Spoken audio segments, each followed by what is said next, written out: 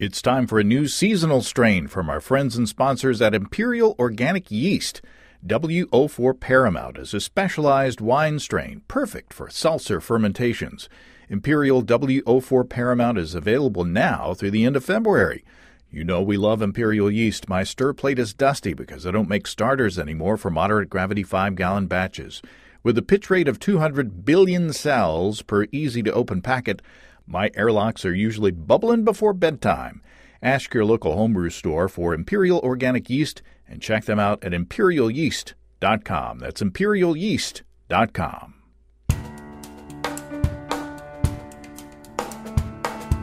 Welcome to Basic Brewing Radio for Thursday, January 21st, 2021.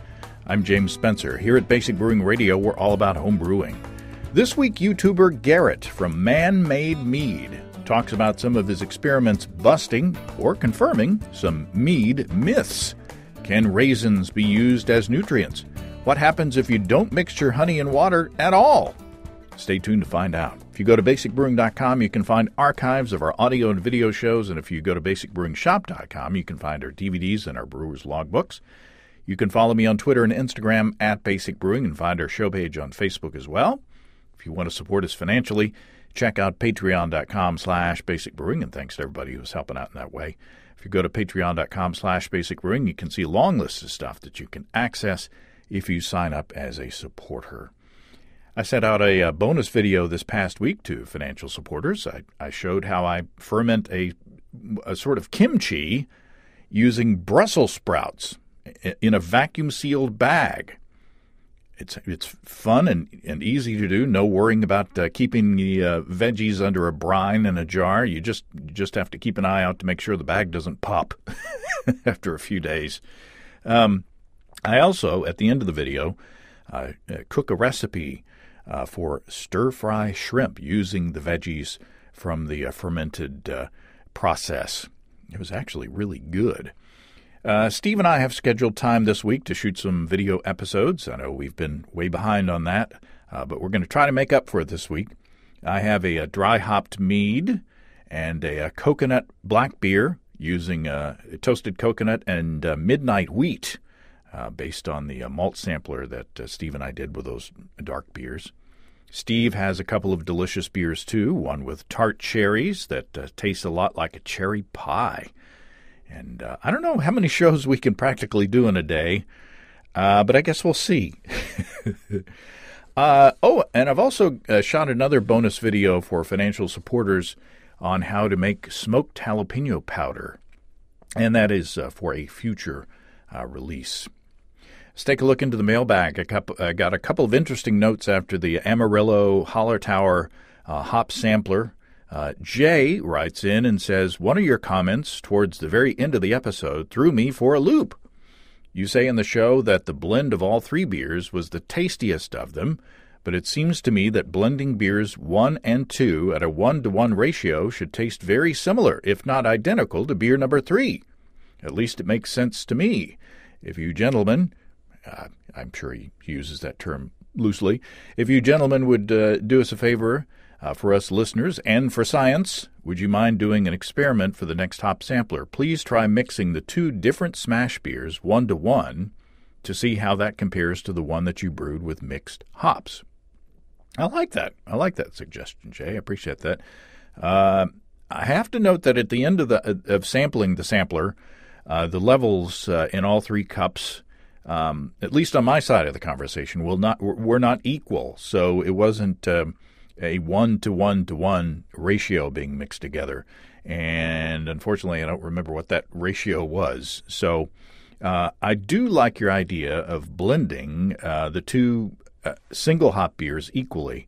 Uh, at the end of the show, uh, to see if the resulting beer is the same as the beer brewed with uh, with both hops.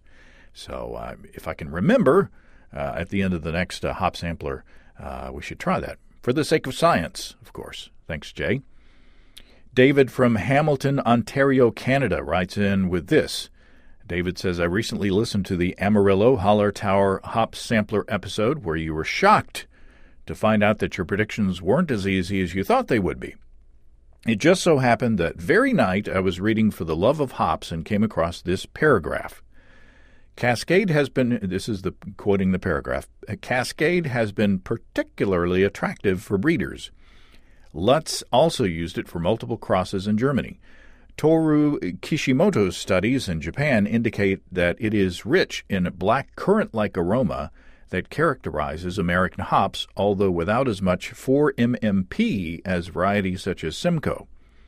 Surprisingly, when brewers evaluated the hop, this is talking about Cascade, before it was released in 1972, they compared it to Hallertauer Mittelfrüh. So David says that's Cascade, but considering its similarity to Amarillo, maybe you shouldn't be so hard on yourselves. Well, there you go. Thanks, David. I, I appreciate that. Very interesting.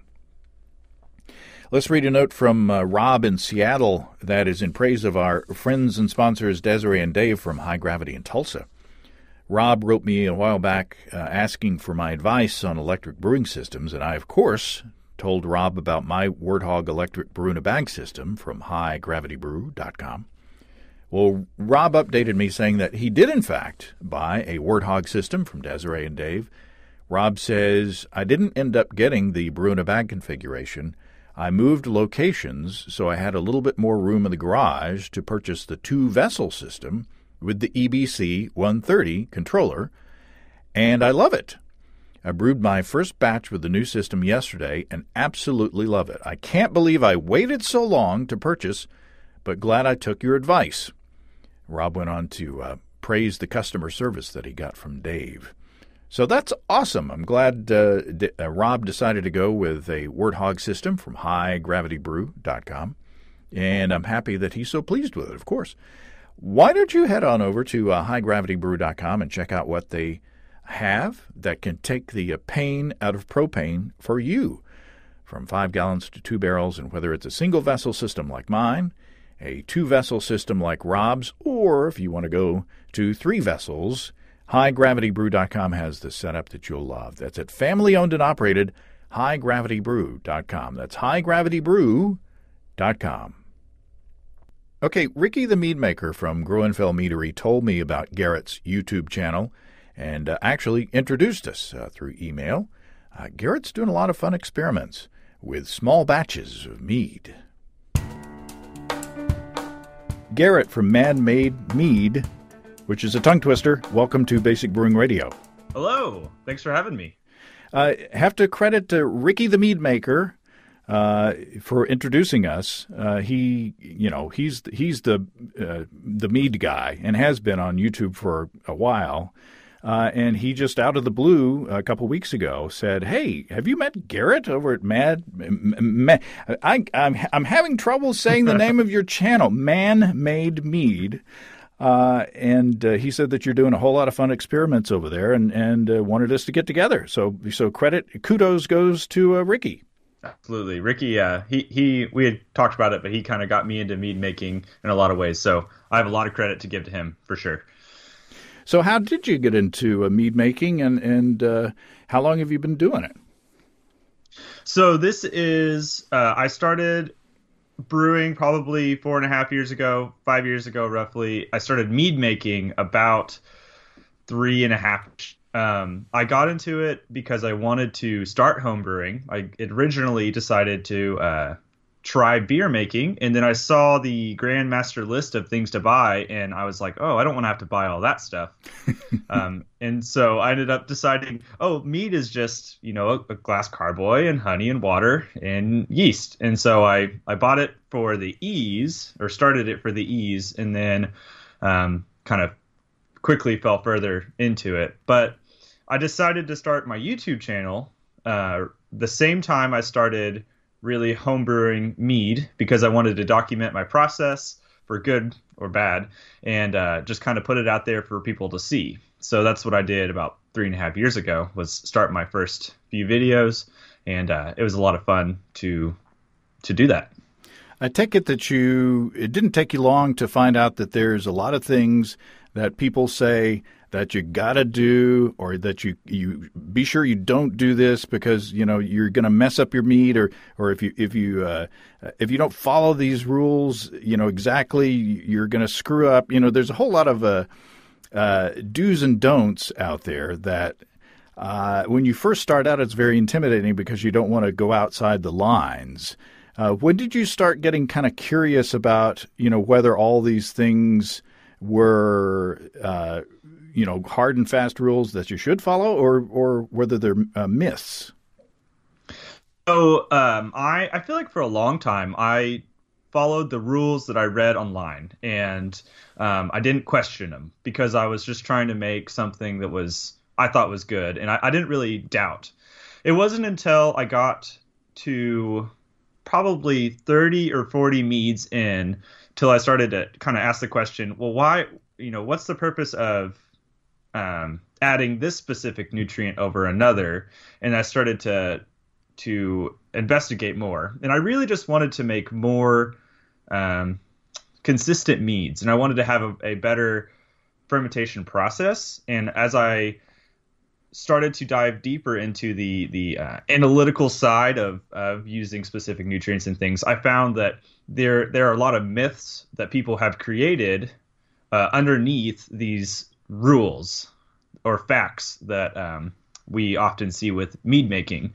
And I think that's just because mead making is a very old tradition and it's it's rooted in such a way that you're not really supposed to break the rules. It's pretty taboo. Mm-hmm. So I I got a little nervous um, to break them at first, but I decided that for the sake of my channel uh, and the the idea that I could do something more than just you know stir up honey water and yeast and ingredients and just you know make different recipes i could actually do some some fun things to uh, expand some knowledge um, that's i started to go further with that investigation yeah, the the process of making mead is is you know deceptive in that you know it, it looks simple and it is simple, but there are some things that that you're better off doing.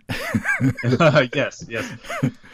So uh, one thing that you do is you use small batches for your experiments, which I find is extremely helpful. Number one, you, you're not investing a whole lot of money.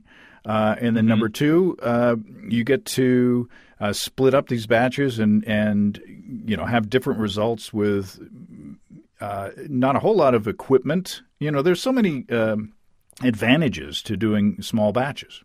Absolutely, and I, and I think even more so. Uh, I know people do micro beers and things, but mead being as expensive as it, as it is, like you said, it's nice to, you know, test out the honey you want to use or the recipe you want to go for. And um, I find myself doing that for probably about 50% of my meads. I will do a test batch, a small, small half gallon test batch first, and then invest in the larger batch once I'm once I'm confident. Hmm. Also, being a home brewer, I, I love to give my stuff away, but with creating so much mead, uh, there comes a point where I have too much and I run out of bottles. So using small batches can kind of save me some space too sometimes. yeah, one thing about doing a lot of experiments is you got a lot of stuff. oh yeah, so much. Now let's let's go through some of the of, of your experiments uh, that's on your channel. And again, that, that's man-made mead. I feel like I'm back in uh, drama class, uh, you know, trying. yeah. me, me, me, me, you know, try. we, are doing our our labials uh, today with the man-made mead. Uh, let's talk about yeast rehydration, and that's one that I think that we've covered on this show, but it's been so long ago that I can't remember the specifics. Uh, but it would seem like a lot of these things, especially uh, you know when dealing with yeast, it seems like beer is a little more forgiving than mead. Mm-hmm. Uh, so the differences may, you know, shine out uh, or, or, show themselves uh, better with mead than, than with beer. So, how did you design your experiment around yeast rehydration? And what's the question that you were trying to answer? Base question I, I saw and I wanted to test was does does rehydration um, positively impact your yeast in fermentation? really just seeing if they fermented um, in a more healthy fashion. So I designed my test by doing two different meads that were the same recipe, same amount of honey, all those things, and simply leaving one as is. Um, well, I should say the two meads, taking my two different yeast I had, um, rehydrating one only in water, and I'll talk about my shortcomings here in a second of this test, but rehydrating only in water that was room temp, first shortcoming. And then the other one, I sprinkled the yeast on top of the mead. And then I let them ferment and kind of documented a process through a time lapse, came back and did a short tasting. And um, my results of that specific test were that the rehydrated yeast kicked off faster. They started fermenting roughly maybe two to three hours earlier, um, fully fermenting earlier than the uh, sprinkled version. And I can only attribute that to the yeast waking up and uh, just having more opportunity to see what they're going to do. In the video, I, I, said something along the lines of it's the difference between um, you know, waking up and someone shoving your breakfast in your mouth, and then you know, ha- waking up, having a few minutes, and then eating your breakfast. So in that case, you know, the yeast that rehydrated had some time to wake up and then ate their breakfast, and I think that allowed them to be a little more um, competent and moving in the beginning. And and I think that that, that there's research that that says that uh, you know absorbing water into the cells is you know physiologically easier on the yeast cells than you know absorbing a thick sugar solution. Uh, you yes. know, so that, so there's it should be more stressful uh, or less stressful for to to just absorb water uh, and get hydrated rather than you know a a sugary solution. Absolutely, and um, the end result, you know, my the yeast that was sprinkled actually ended up settling at around 1.03 gravity. It didn't really finish, and the one that rehydrated finished at about 1.010. So mm. I think that rehydration actually did push the yeast further along, and um, I, I do believe that the the sprinkled yeast probably just had a little more trouble, like you said, acclimating to the must. Did you find it other than the sweetness? Uh, I assume that the uh, that the sprinkled one was more sweet than the uh, the hydrated one. Other than absolutely, uh, other than the the perceived sweetness, were there any other uh, off flavors that you detected? Not that I noticed. Now, I do want to say that this is part one of my shortcoming of this. I wish I had you know maybe given it more time or done something to more comfortably give the yeast a more comfortable environment to ferment because uh, I don't know if that was my issue. But the the the fact that there was sweetness could have possibly jaded my tasting test just a little bit. And in hmm. fact I've I've already decided I'm going to redo this test again. And when I redo it I am going to uh, actually provide each with nutrients. Because I, I did realize not giving them nutrients caused the issue of uh, not a full fermentation. Mm-hmm. There was just stressed yeast within that. Now there was no fusel, there was no odd off flavor that was significant. I don't think there's a huge difference, but the fact that it was sweeter again could have made it a little harder to tell. Yeah, I mean, even if uh, if you know both, since you were doing both the same uh, as far as nutrient level, they were both starting off on the same playing field. So mm-hmm. you know you might have gotten more complete fermentation in each of them. Uh, you know, who knows? You you know, the next time you do it, if you do give uh, yeast nutrients, it could be that the the sprinkled one could catch up. You know. yeah, absolutely. And that's the thing well, about doing ex- kinda... experiments is you get to do them again. You get to change a variable and, and see the effect. Absolutely, and I think within that rehydration process, um, I I should have rehydrated them at you know the hundred degrees Fahrenheit where they're more comfortable, where they're supposed to be rehydrated, and given them some maybe Go-Ferm or some sort of nutrient initially. Now that's a whole nother test because then you have to take the other variable, you know, that's multiple variables variables. But uh, I do think the fact that I didn't rehydrate them at the proper temperature could have also affected that. Hence why I'm going to redo it in the future. Well, there you go. Uh, did uh, so? Did you do anything after that to uh, make the fermentation more complete? After you after your fermentation or your experiment was uh, completed, uh, did you then do things to dry those meads out more? No, I actually ended up combining them into the same bucket and using them for the the base mead of um, some other things I was doing, adding some flavors to them. So uh, I honestly cannot recall because I, when I put them in that bucket, I, my brain kind of shut them off and said, "All right, they're done," and I didn't I didn't make them their own entity at that point. So I wish I had left them alone because there could have been some more fermentation um, by themselves, but unfortunately, I didn't. Now, this next experiment is is one that uh, the debate has been going on in the homebrew community for a long time, and that mm-hmm. is it, that is bucket versus carboy. You know, does the shape uh, or or material of a of a fermenter does it actually make a difference uh, in the uh, the fermentation process? So, how did you approach this experiment of, of bucket versus carboy? I feel like the idea of it was pretty simple. I mixed together two gallons of must, um, and then I put one gallon into a three and a half gallon bucket, and then one gallon into a glass carboy, and then pitched my yeast, did all that, let them ferment through their whole process, and came back and did a taste test. And my, like you just said, my whole purpose was to find out if there is any difference between the two fermentations. Um, I noted that there was no actual taste difference between them.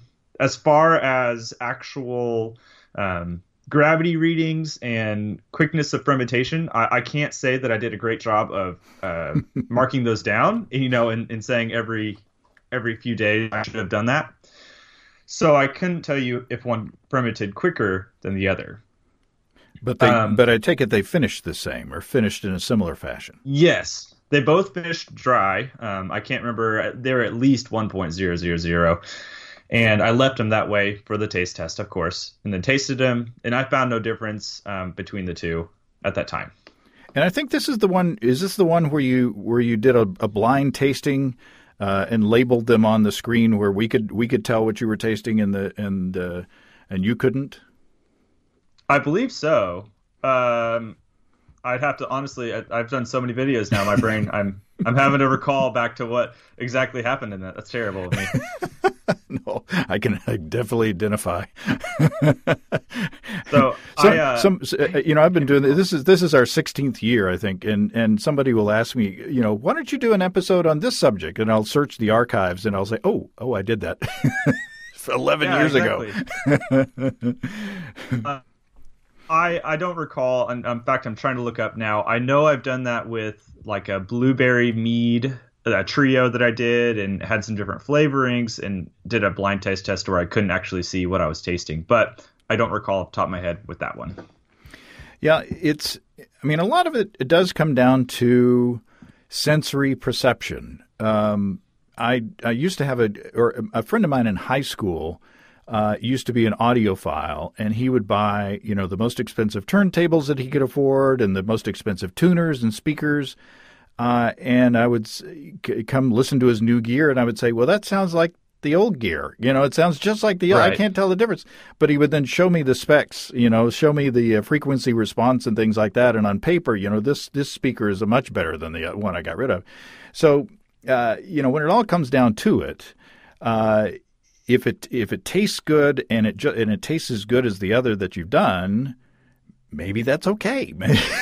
maybe that's yeah. well, and, and uh, to answer your question, I just I just found it. I did do a blind tasting. I had four glasses. I did label the bottom, and then I switched them around to where I couldn't know what they were and tasted them and tried to identify and couldn't really, honestly, identify super well. So, um, so there the, you go. yeah.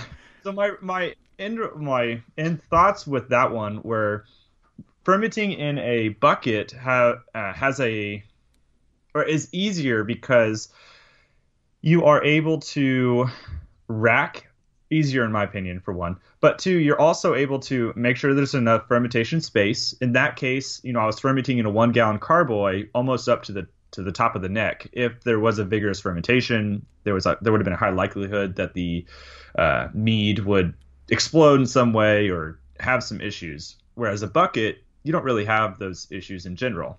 And during that fermentation, you have that blanket layer of uh, CO2, if I'm not mistaken, that kind of protects from oxygenation. Um, and that so that worry of is this going to be oxidized isn't really a thing.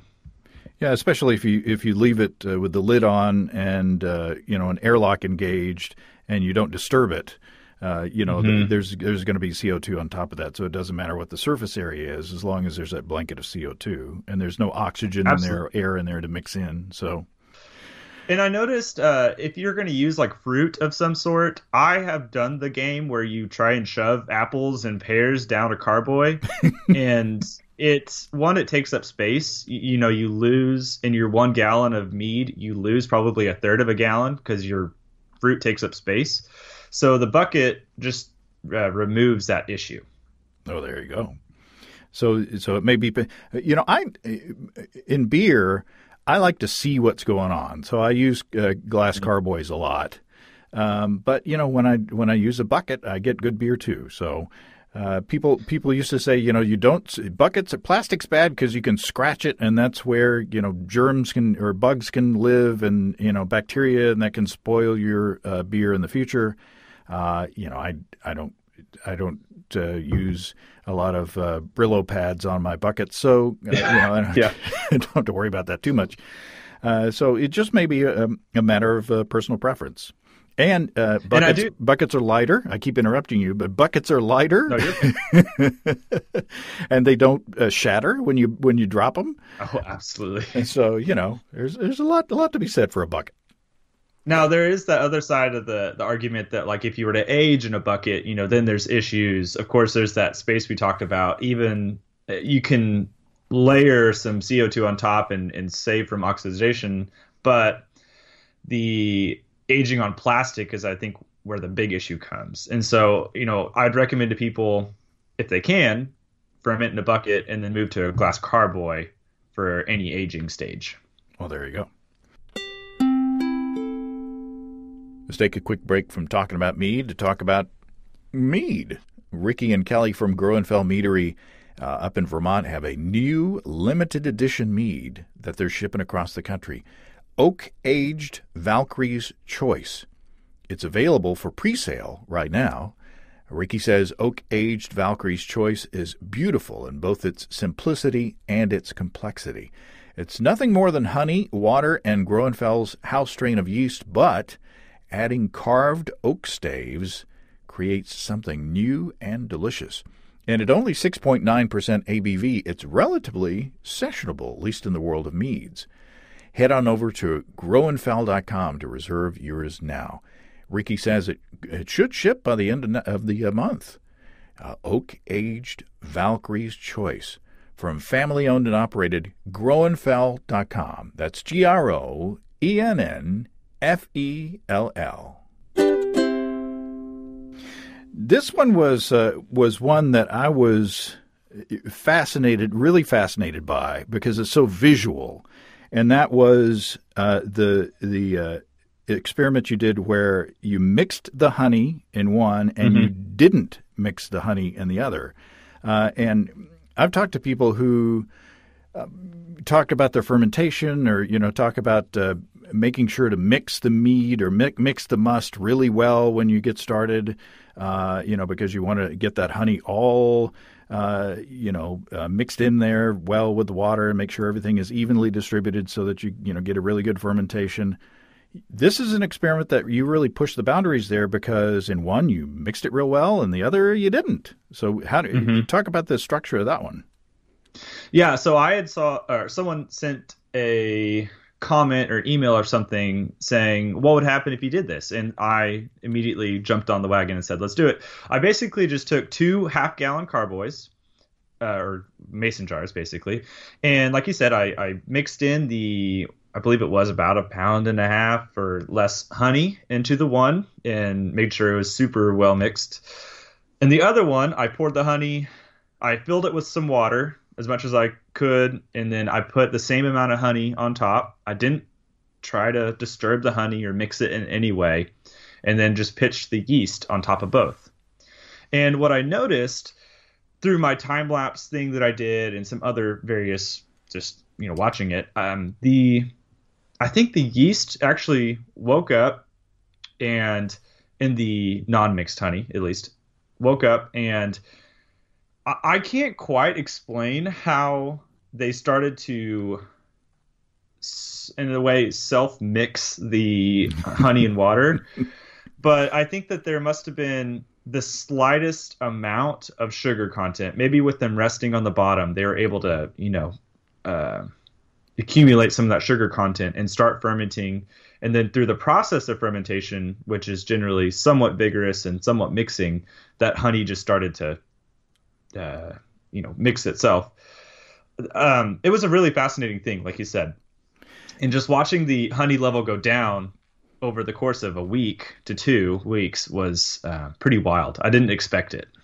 Yeah you look at the jar and there's this there's water and then there's this this you know, it's like a black and tan. There's this line where it's, mm-hmm. where it's just like this heavy honey just sitting on the bottom of this uh, of the jar, uh, and the, the I don't I don't know if there was some sort of I don't know what the process is. Is it osmosis? Is it what is it? You know the where the the water you know just interacted with the honey and uh, but but the yeast had to have something to do with it, especially after the fermentation started, uh, because you know like you said, there is a there is a vigorousness to fermentation that actually moves the fluid around. But doggone it, you know, by the by the end of it, it you couldn't see that layer of honey anymore. So so what was the? I assume that the mixed fermentation went a lot faster. Number one. Oh, absolutely. It was done. The mixed was done probably four to five days before, at least and it kicked off you know there was no problem with it at all it just it just did its normal thing um, and in the end the the results of like tasting the two i don't did not notice a significant difference between the two. And i also found that to be interesting. I do think to the yeast i'm trying to think of a visual to explain it but the yeast were able to like grab both sides of the of the fence and get some honey and get some water on the other side and, and bring it in. And and that's what maybe caused them to allow that fermentation to begin. Um, so. Yeah, so, so what did the num- What did the numbers say? What was your uh, finishing gravity? Was it the same in both batches? Um. Oh man, I will have to pull that up. I don't have that pulled up on, on right now. I will do that right now as we're talking, if I can find it. I apologize. I'm trying to remember myself. I'm going to say yes because I think that that would have stood out in my mind if uh, if there was a significant difference. I, I believe they were the same. Um, I don't. I do not recall there being a vast difference, if any, between the two. So, I, you know, I guess one finding is that it's good to mix the honey, but mm-hmm. just yes. for expediency's sake, you know, you'll get a faster fermentation and probably a more reliable fermentation. Uh, but if you don't, if you don't mix your honey just 100% perfectly well, when you pitch your yeast, don't worry about it. That's that's what I took. You know, you took yeah. the one, one one thing we can do with these experiments is we can take the extreme. You know, what if I just really screwed this up? Will it still uh-huh. make good beer? Will it still make good mead? Uh, and you you really took the extreme of not mixing them at all, and you still got good mead. I would absolutely, I would still recommend people to mix as well as you can, simply because you want to have the most accurate gravity reading possible. Ah. And I think that's where the discrepancy would be is that yes, theoretically you could do what I did, but you would have to have the exact same mead on the other side going as well with the exact same honey and, and, and all that stuff because you wouldn't really know truly what your gravity is.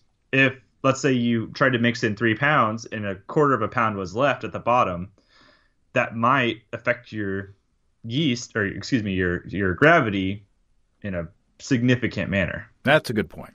That's a good point. Yeah, you do to take a good uh, gra- original gravity reading. Uh, you do want to mix it up uh, really well. Uh, Which and, is why people, uh, a lot of people. I'm sorry to cut you off. A lot of people will actually wait 24 hours before they do a gravity reading. Is so if there's any honey it mixed in there that's that wasn't truly mixed, it is hopefully by that point dissolved. Huh. Interesting. So, so they wait uh, 24 hours before they pitch the yeast at that point. No, you could uh, you could pitch the yeast. I would say that most yeast, unless it's a crazy insane one, probably don't kick in till 16 to you know 24 hours. And at that point, uh, I mean, yes, there is a little bit of chewing of the gravity, but I would not say it's a significant amount.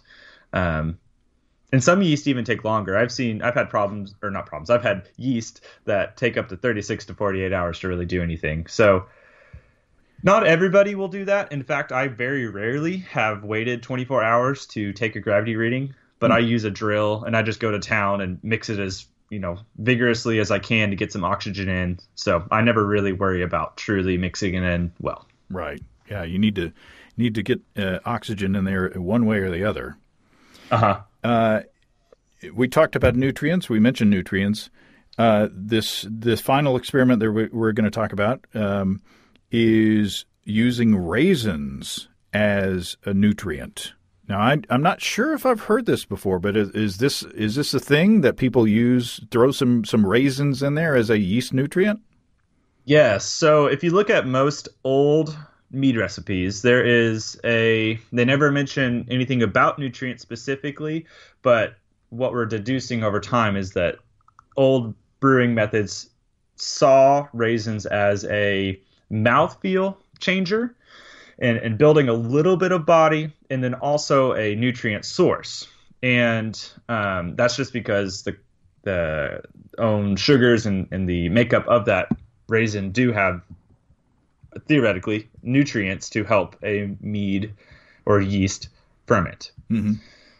So I I have seen this a long time, and in fact, when I first started brewing, I threw raisins in my stuff because that's what you did. That was the, the standard. And like I said, I didn't I didn't question it, and um, it was only over time as I saw other experience uh, other people questioning it, I should say, that I really wanted to do something about it. So what I I did for that specific experiment was I took I made nine gallons of mead in total. I wanted to um, push the the limits of this test. I did three gal or yeah three gallons of mead with one specific yeast, three with another, three with another.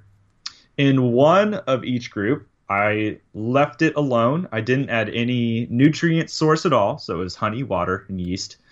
In another, I added a handful of raisins as the nutrient source, and then in the third one, I put diammonium phosphate, which mm. is you know a pretty standard nutrient source that you can buy that's cheap. Right. I I did that with the um, with the other two yeasts. So the ones I used were the Lalvin K1V1116, the Lalvin D47, and the Mangrove Jacks MO5. Those three yeasts. Okay. Calculated the the gravities over the course of their fermentation. Every two days, I would just go through and take a gravity reading and and write it down. What I noticed was that the in um, in the yeast, the true uh, well, I don't want to say true. In the case of the diammonium phosphate yeast nutrient, the yeast accepted that one quicker and fermented through their fermentation much faster. Hmm. So I saw, and I'm looking at my notes here. I saw in in each one um, they all finished in about you know six to ten days with that diammonium phosphate. The raisins took a little while longer. The raisins at least each at least took twenty to twenty six days depending on the yeast. And the nothing version that I didn't add anything in took about same thing 24 to 26 28 days hmm my end result was that, or end resolve, was that the the raisins added a small amount of nutrient, um, but they didn't truly add enough to uh, for me to conclude them as a nutrient source. They didn't really move as fast as I would want to be considered that. And was there an impact on the final gravities uh, between the batches? Um, no, they all ended up at 1.000. They all leveled out. Wow. Huh. So yeah, it was just the speed at which they changed. And the there's of course a video on this if you want to watch it on my channel, but the the breakdowns, of course, they all they change, and one moves a little faster, and then the other one catches up, and there's a whole you know whole thing there, but they all ended at the same gravity. We did a taste test, and um, they tasted somewhat similar. I do think that the raisins added flavor, so it's hard to, to justify and say that it was totally even. But it it was a very fun test. It took me like two to three months to finish, but it was a it was a lot of fun. Well, that's interesting. I, that surprises me that the that the uh, mead without any nutrients at all did so well. Um, you know, I've I've had meads that uh, that stalled out. You know, that that uh, that had some problems in fermenting. Uh, you know, and and I attributed that to the lack of, of nutrients. So it it uh, you know it's a, it's a, it surprises me that number one uh, that they every, every, all the batches got finished, and that number mm-hmm. two you didn't uh, taste any evidence of struggling yeast in the ones that that weren't um, you know, uh, that weren't fed properly. Yeah, and, and I was the same way. I, I thought surely there's going to be a, a, difference between the two. I, I, have heard, in hindsight, I have heard that people that uh, diammonium phosphate as a nutrient can sometimes add a little bit of that. Um, some people call it the rocket fuel idea, and mm. I hmm. think that's just because that quick fermentation can lead to uh, sometimes yeast having their own response but I didn't notice that in that case. The other thing I, I saw uh, within my comments was people saying you should have cut the raisins in half to allow the yeast to truly get in there. You know, there's that skin barrier of the raisin and yada yada. Huh. So I'm actually working on that test now. That's my next one. It'll be out in probably a month or so. But it uh, I did the same thing or a similar thing. I chopped up raisins in one, and then I just put a regular handful of raisins in another, and I've tracked the um, the uh, gravity readings as it's gone along. So I won't spoil that test, but it's not looking good. now, the, the, did you how much yeast did you pitch in each of these small batches? Um, I believe at that time I did at least two grams per okay. per one. Okay, and that so, was so it wasn't like a whole pack. no, no. Um, I'm, actually, I'm finding it right now. I did one and a half. It was a one and a half grams per uh, per mead. Okay, well that that blows my theory because my my theory was that you know if you'd p- pitched like you know a whole package of of mead in a one gallon batch, well the you know the yeast had enough uh, cells there to do the job without having to reproduce, and therefore you know it was okay. And but the, yeah, never mind. yeah, yeah, yeah. No, and I'd actually I'd done the test one time before that. I even did a whole video about it um, and finished the video. I did the exact same thing: raisins in one, nothing in another, nutrient in the other one.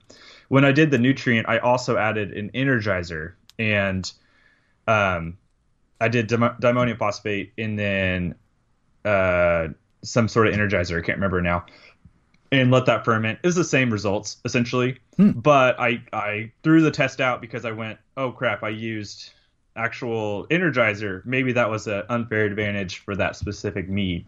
So I just threw that test out and redid it all with the three other yeasts. Hmm. Well, it's fascinating, and we're just we're just scratching the surface on the content on man-made mead. Uh, trying to enunciate I swear I haven't been drinking. just, just my lazy lips. Uh, but uh, the, but we're just scratching the surface because you do a whole lot of stuff. It's not just experiments. Uh, you know, you you do a whole, you experiment with the, with different ingredients, or or you make meads with different ingredients. You do, you have a series on uh, you know the basics of making mead.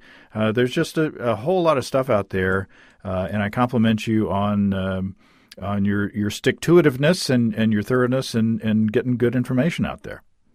Well, thank you. The science behind it has become much more fascinating than I thought. When I first started, I was mixing stuff, and now I'm I, I'm just so interested in every single test. And so the Mead Mythbusters series is probably my favorite at this point. Well, there you go. Well, we look forward to uh, to more stuff, and uh, you know maybe maybe when you when you get more experiments under your belt, uh, maybe we can talk again. Absolutely. I'd love that. All right. Thanks, Garrett. I appreciate it. Absolutely. Thanks for having me on. Appreciate you. Thanks again to Garrett. Lots of good mead making material over in the Man Made Mead channel. Marvelous. Love alliteration. if you have brewing questions, show suggestions, or just want to say howdy, write to james at basicbrewing.com or just fill out the contact form on basicbrewing.com. And please don't forget to tell us where you're from. Check out our, our mobile friendly shop at basicbrewingshop.com. Thanks to everybody supporting us through our Patreon page. Special goodies coming your way. Check that out at patreon.com slash basicbrewing.